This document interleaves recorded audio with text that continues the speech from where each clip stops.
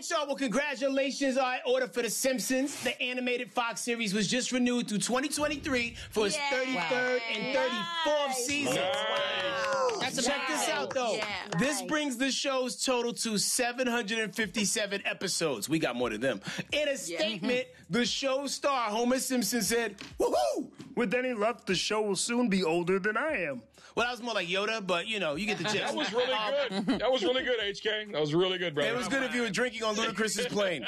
Obviously, this is a reference to the fact that the shows on the characters on the show don't age much. Homer was 34 when the show started. Now he's about 39 or 40. Wow. So, Heidi, what would, what would it be like to be on a show that doesn't actually age you? I would love to find out, Frank, because being uh, on the show and doing radio with you for 20 years, go back and look at when we first started and look at me now.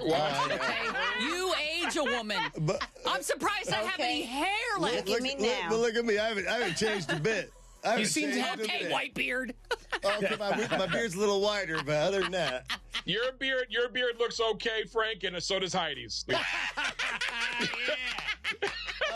every insult, Heidi morphs into Hulk Hogan every single year. So yeah, I, I can't unsee it. All right, up next, brother. You always manage Yeah, to stay dude. gorgeously stunning, Heidi. No matter what Frank throws. Thank at you, Sherri. Still stay gorgeous and stunning. Imagine how beautiful I could be if I didn't have to deal with him. Oh my God. Let your brain go there for a second. Exactly.